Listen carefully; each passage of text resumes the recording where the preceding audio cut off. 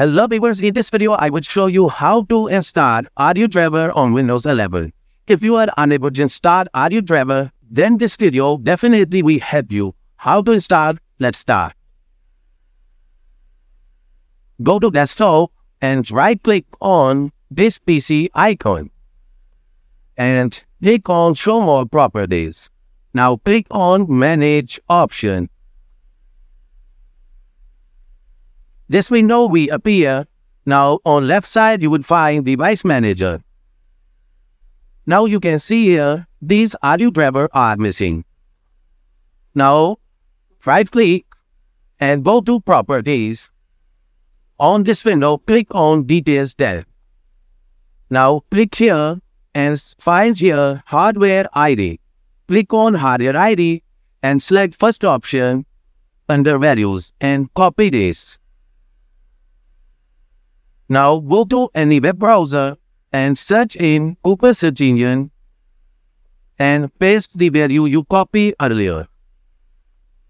And press enter button. You will find multiple.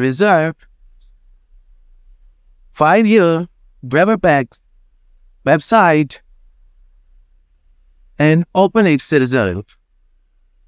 On this page, you will find download button Scroll down, click on download zip.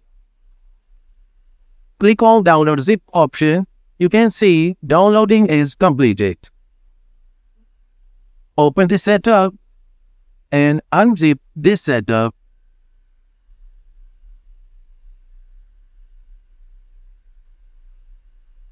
Extract all options select and press OK button.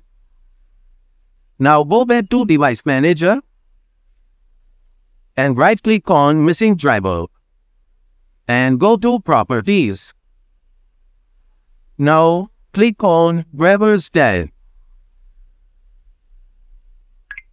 Now click on Update Drivers and click on Browse My Computers.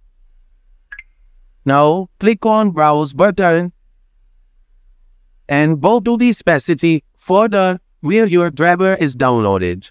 Now select this folder and press OK button. Click Next.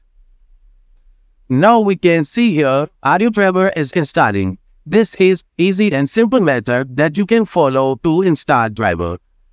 Now you can see here audio driver successfully updated. Well, this window. In the device manager, you can see your audio driver is installed. After installing, your PC must be restarted for proper functionality. Also, this video will be helpful for you. See you another video. Goodbye.